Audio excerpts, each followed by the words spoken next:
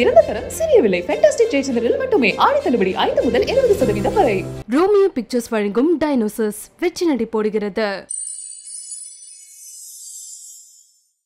வக்ரதுண்ட மகாகாய சூரியகோடி சமப்பிரபக ஹவிக்னம் குருமே தேவ சர்வகாரியேஷு சர்வதா தென்னாட்டுடைய சிவனே போற்றி என் நாட்டவர்க்கும் இறைவா போற்றி. சிம்ம ராசி. ஒரு ஒரு ராசிக்குள்ளேயும் பல ஆயிரக்கணக்கான லட்சக்கணக்கான புதையலான விஷயங்கள் வந்து ஒளிஞ்சிருக்குங்க. அப்போது சிம்ம ராசிக்கு நிறைய விஷயங்கள் நடந்தால் கூட சில குறிப்பிட்ட விஷயங்களை பற்றி நம்ம பேசணும். சொந்தமே பகையாவது யார் யாருக்கு எந்தெந்த ராசிக்கு? முக்கியமாக சொந்தமே வந்து பகையாவது.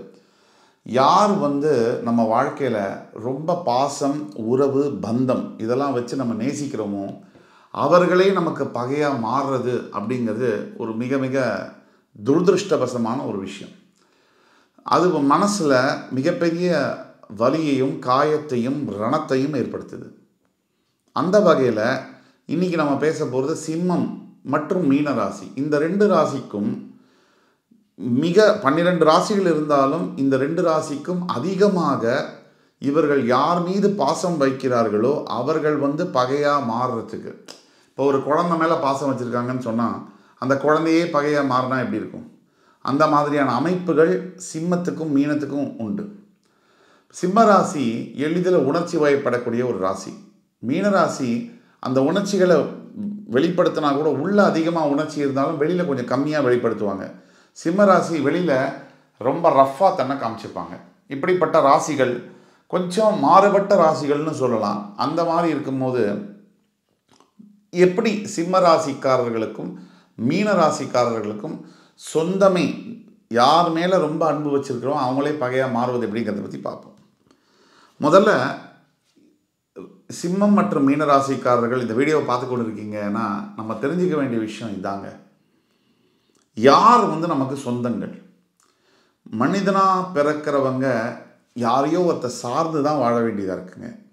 அது ரத்த சம்பந்தப்பட்ட மில்- இருந்தாலும் சரி ரத்த சம்பந்தம் இல்லாததாக இருந்தாலும் சரி எந்த சொந்தங்களாக இருந்தாலும் நம்ம ஒரு மனிதராக பிறந்து இன்னொரு மனிதரை சார்ந்து தான் வாழ வேண்டியதாக இருக்குது அப்போ யார் நம் சொந்தங்கள் அப்படிங்கிறது எப்படி வந்து நம்ம வந்து புரிஞ்சுக்கிறதுங்க? அதில் வந்து நம்ம ரொம்ப கவனமாக இருக்கணும். யார் நம் சொந்தங்களாக இருக்க முடியும்? நமக்கு வந்து கெட்ட காலம் வரும்போது ரொம்ப மனசார வருந்தி நமக்கு நல்ல காலம் வரும்போது நம் ரொம்ப சந்தோஷப்படக்கூடிய யாரோ அது ரத்த சம்பந்தம் இருக்கணுங்கிற அவசியம் இல்லை. அவர்களே நம்மளுடைய சொந்தங்களாக மா இருக்கிறாங்க. ஸோ இப்போ முக்கியமான ஒரு விஷயம் சொல்கிறேன் சிம்ம ராசிக்கும் சொல்கிறேன் மீன ராசிக்கும் சொல்கிறேன் இது எல்லாமே இந்த ரெண்டு ராசிக்கும் எடுத்துக்கலாம் நீங்கள் யார் வந்து சொந்தங்கள் அப்படிங்கிறது ஒரு ஒரு நம்ம கரெக்டாக கண்டுபிடிச்சிக்கணும். யார் சொந்தங்கள்? நம்ம கஷ்டப்படும் போது நமக்காக கூட கஷ்ட காலத்தில் யார் துணையாக நிற்கிறாங்க அதுதான் ரொம்ப முக்கியம். நல்ல காலத்தில் நமக்கு உதவி பண்ணலைன்னா கூட நமக்கு ஒரு நீடு நமக்கு ஒரு தேவைன்னு வரும்போது யார் கூட நிற்கிறாங்க அடுத்தது யார் நம் பகைகள்? ரொம்ப சிம்பிள் இந்த சிம்மத்துக்கும் மீனத்துக்கும் மட்டும் நீங்கள் நல்லா யோசித்து பார்த்துக்கோங்க. இந்த ராசிக்காரர்கள் இந்த வீடியோவை பார்த்துட்ருக்கீங்க. சிம்மத்துக்கும் மீனத்துக்கும் மட்டும் பகைவர்கள் வந்து தொலைவில் இருக்க மாட்டாங்க. உங்கள் பக்கத்துலேயே தாங்க இருக்காங்க. நீங்கள் பகைவர்களை தேடி அலைய வேண்டிய அவசியமே இல்லை.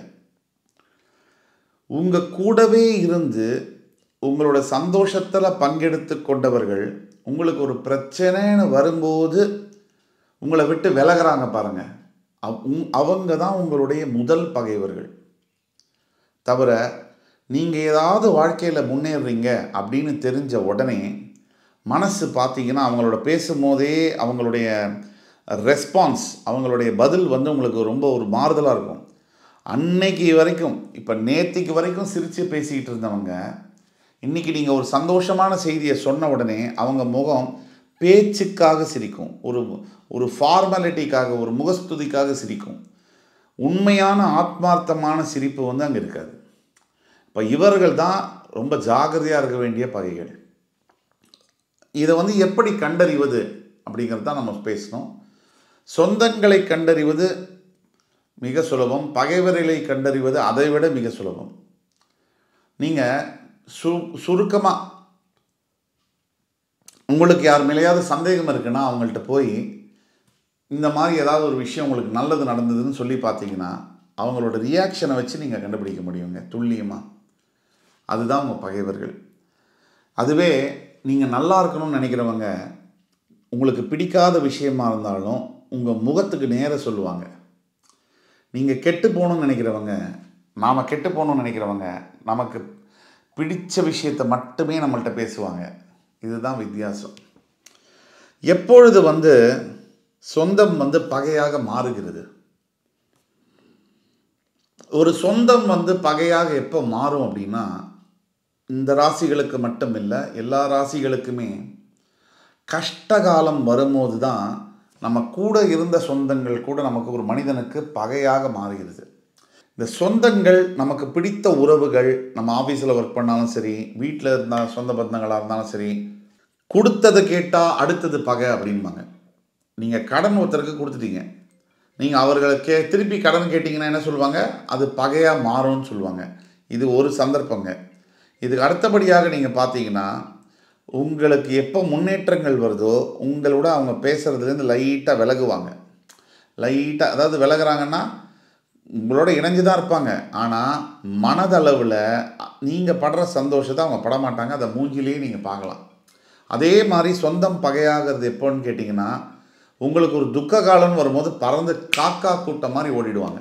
இதுதான் நீங்கள் கண்டுபிடிக்கக்கூடியதுங்க. அப்போ சொந்தம் எப்பொழுது பகையாக மாறுகிறது என்பதை பற்றி பார்த்தோம். ஏன் எனக்கு மட்டும் இப்படி? இப்போ ஒட்டுமொத்த சிம்மராசி அன்பர்களும் மீனராசி அன்பர்களும் தன்னுடைய மனதில் கேட்கக்கூடிய ஒரு முக்கியமான கேள்வி என்னன்னு பார்த்தீங்கன்னா எனக்கு மட்டும் உறவுகள் சரியாக அமையாதது ஏன்? என்னை சுற்றி இருக்கவங்க நிறைய பேருக்கு உறவு நிறையா நல்லா அமைஞ்சிருக்கு. ஒரு மனிதன் வந்து எவ்வளோ சம்பாதிச்சாலும் என்ன புகழ் பதவி பேரெல்லாம் அடைஞ்சாலும் உறவுகள் சரியாக அமையலைன்னா வாழ்க்கையில் இன்பம் அப்படிங்கிறது நிரந்தரமான இன்பங்கிறது இருக்காது. ஒரு ஏதோ ஒரு இன்செக்யூர்டு ஃபீலிங் பயமாக இருக்கும். தன்னந்தனியே ஒரு மனிதன் இருக்கும்போது கூட தன்னை அறியாத எவ்வளவு எவ்வளவுதான் தைரியமானவர்களாக இருந்தாலும் கூட ஒரு பயம் இருக்கும். அந்த பயம் வந்து இந்த மனிதர்களுக்கு வரக்கூடிய வாய்ப்புகள் அதிகம். சிம்ம ராசி மற்றும் மீன ராசிக்காரர்களுக்கு. ஏன் எனக்கு மட்டும் இப்படி நடக்குது?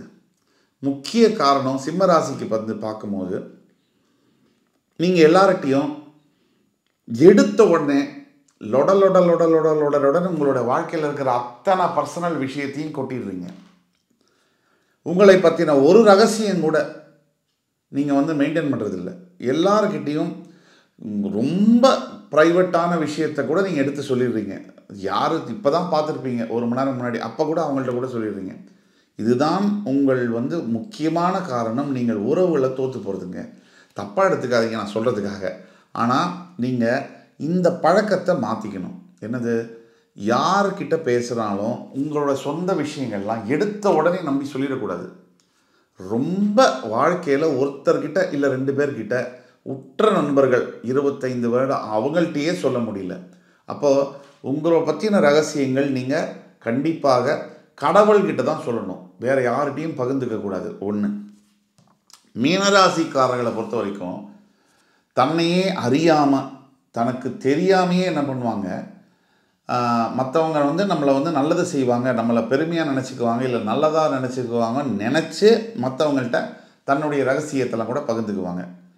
அதாவது தேவையில்லாத விஷயங்கள் தேவையற்ற விஷயங்களை விட்டுட்டு தேவையில்லாத விஷயங்கள் நிறைய வந்து மீனராசி வந்து நண்பர்கள்ட்ட பகிர்ந்துக்குவாங்க. இது ஒரு முக்கிய காரணம் உறவுகளில் பின்னடைவை சந்திக்கிறதுக்கு. இதுக்கு அடுத்தது வந்து உறவுகள் மற்றும் உறவுகள் பற்றின எதிர்காலம் எப்படி இருக்கும்? இப்போ சிம்மராசிக்கும் மீனராசிக்கும் தற்சமயம் உள்ள கிரக சூழ்நிலைக்கு ஏற்ற மாதிரி எதிர்காலத்தில் உறவுகள் பற்றினது அதாவது பாசபந்தம் அப்பா அம்மாவோட எப்படி இருக்கும்? கணவன் மனைவி உறவுகள் எப்படி இருக்கும்? பிள்ளைகளுக்கு உண்டான உறவுகள் எப்படி இருக்கும்? காதலன் காதலிக்கு உண்டான உறவுகள் எப்படி இருக்கும்? அதை தவிர வந்து பக்கத்து வீட்டுக்காரர்கள் நெய்பர்ஸ் இவங்க எல்லாருமே சேர்ந்தது தான் நம்ம வாழ்க்கை. வாழ்க்கை என்னதான் சொன்னாலும் இண்டிபெண்ட்டாக ஒருத்தர் வாழ்க்கையும் தனிச்சு இருக்க வாய்ப்பே இருக்க கூடாதுங்க.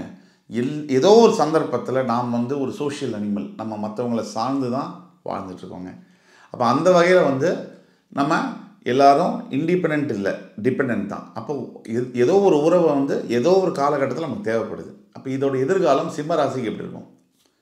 சிம்மராசியை பொறுத்த வரைக்கும் வரப்போகின்ற ஒரு ஆண்டுக்கு இல்லை அடுத்த ரெண்டு ஆண்டுக்கு ரொம்ப நல்ல காலகட்டங்கள் இருக்குது இருபத்தி நாலாவது வருஷம் அடுத்த வருஷம் டிசம்பர் வரைக்கும் சிம்மராசிக்காரர்களுக்கு ரொம்ப நல்லாயிருக்கு இன்னும் சொல்லப்போனால் இரண்டாயிரத்தி இருபத்தைந்து ஜூன் வரைக்குமே நல்லாயிருக்கு இரண்டாயிரத்தி இருபத்தைந்து ஜூனுக்கு அப்புறம் அஷ்டம சனி காலகட்டங்கள் வரதுனால சிம்ம ராசிக்கு சில தடுமாற்றங்கள் உறவுகளில் வரக்கூடிய வாய்ப்புகள் தவிர்க்க முடியாத சூழ்நிலையில் வரும். அது வரைக்கும் நல்லா இருக்குங்க அதே மாதிரி மீனராசிக்காரர்களுக்கு ப்ராப்ளம் இருக்குது ஏழரை சனி ஜனவரி பதினேழாம் தேதி ஆரம்பித்ததுனாலையும் சனி என்னதான் வக்ரகதி பெற்று மகரத்தில் இருந்தாலும் கூட சனி வந்து இப்போது மீனராசியை ஸ்டில் வந்து அவர் மூணாம் பார்வையாக பார்ப்பார். அப்படிங்கிறதுனாலையும் மீனராசிக்கு அந்த பா பாதிப்பு இருக்கும். குறைந்தபட்சம் நீங்கள் என்ன பண்ணணும்னா எல்லா நேரத்துலேயும் எல்லா உறவுகளோடையும் நம்ம வந்து வெற்றியை வந்து பெற முடியாதுங்க. உறவு அப்படின்னாலே ஏத்த இறக்கம் இசிஜி கிராஃப் இருக்கு இல்லையா? இப்படி ஏறும் இப்படி இறங்கும் இப்படி ஏறும் இப்படி இறங்கும் அந்த மாதிரி தான் உறவுகள். ஒரே நேர்கோட்டில் போச்சுன்னா என்ன அர்த்தம்? மனிதன் இறந்து விட்டார்னு அர்த்தம். அப்படி தான் உறவுகளும் எல்லா தினமும் ஒவ்வொரு நாளும் அந்த உறவை வந்து நம்ம மெயின்டைன் பண்ணுறதுக்காக சில விஷயங்களை பண்ணணும். ஃபார்மாலிட்டிக்காவது நமக்கு க்ளோஸ் இருக்கக்கூடிய க்ளோஸாக இருக்கக்கூடிய உறவுகள் அவங்கள்ட்ட வந்து ஒரு அப்பா அம்மா அக்கா தங்கச்சி க்ளோஸ் ஃப்ரெண்ட்ஸு இவங்கள்ட்ட நல்லா இருக்கியா? நீ சாப்பிட்டியா? உனக்கு ஏதாவது பிரச்சனை இருக்கா? என்கிட்ட ஏதாவது மனசை விட்டு ஏதாவது சொல்கிறதா இருந்தால் நீ சொல்லலாம். எனக்கு இதெல்லாம் நான் எனக்கு மனசில் தோணுது. நான் உங்ககிட்ட பேசுகிறேன் அப்படி பேசணும். அந்த உறவுகளை பே மெயின்டைன் பண்ணணுங்க. இது ஒன்று முக்கியம். மீனராசியை பொறுத்த வரைக்கும் அடுத்து எது ரொம்ப முக்கியமானதுன்னு பார்த்தீங்கன்னா பொறுமைங்க. ரொம்ப பொறுமையாக இருக்கணும். இந்த ஏழரசனி காலகட்டங்களில் சகிப்புத்தன்மை உங்களுக்கு அதிகமாக வேணும். ஏன்னா பிரச்சனை வரப்போகுதுன்னு தெரியும். அந்த பிரச்சனையை ஏற்றுக்கக்கூடிய மனோ பக்குவமும் தைரியமும் பொறுமையும் உங்களுக்கு ரொம்ப தேவைங்க. இது எப்படி வரவழைச்சிக்கிறது? ஒரே வழி தாங்க தியானம் நிறைய செய்யணும். மனதை வந்து கண்ட்ரோல் பண்ணக்கூடிய விஷயங்களை செய்யணும். ஏற்றுக்கிற பக்குவத்தை மனசுக்கு மெது மெதுவாக தான் ப்ராக்டிஸில் தாங்க கொண்டு வர முடியும். இதை வந்து நான் சொல்கிறதுக்காக தப்பாக எடுத்துக்க வேண்டாங்க. ரெண்டுங்க இப்போ வந்து நான் சொன்னேன் இல்லையா? முதல்ல வந்து என்ன விஷயம் நடந்தாலும் எல்லா உறவுகளிலுமே இம்பர்ஃபெக்ஷன் இருக்கும்.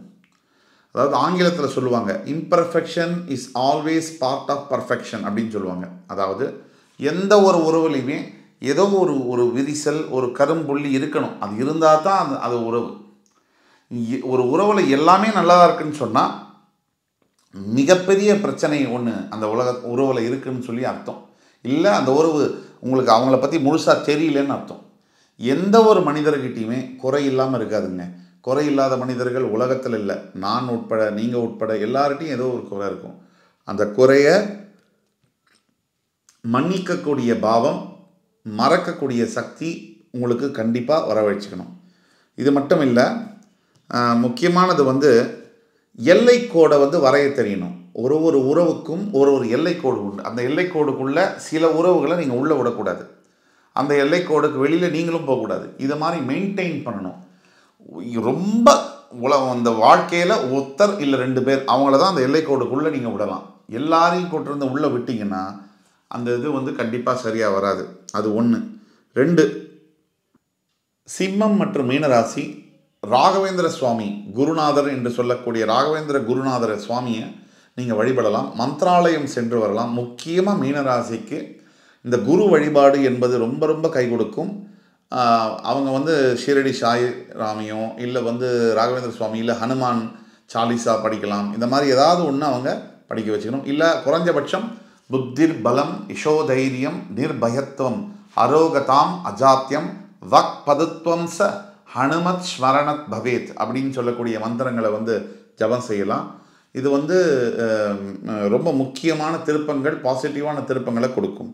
அது மட்டும் இல்லை புதன் ஸ்தலம் என்று சொல்லக்கூடிய திருவெண்காடு ஸ்தலத்துக்கு சென்று வந்து வழிபட்டு வரும்போது இன்னும் நல்ல ப பலன்கள் உண்டாகும். புதனுடைய காயத்ரி மந்திரம் கூகுளில் எல்லா இடத்துலையும் இருக்குது நீங்கள் ஜபம் செய்யலாம். எல்லாத்தையும் விட ரொம்ப முக்கியம் என்னென்னா எல்லா பிரச்சனைக்கும் ஏதோ ஒரு தீர்வு இருக்குங்க. அந்த தீர்வை நோக்கி தான் நம்ம பயன்பட பயணப்படணும். பிரச்சனையை பல பேர் வாழ்க்கையில் இருக்கக்கூடியது என்னென்னா நடந்து முடிந்ததை நினச்சிட்டே நடக்க போகிறத லூஸ் பண்ணிடுவாங்க.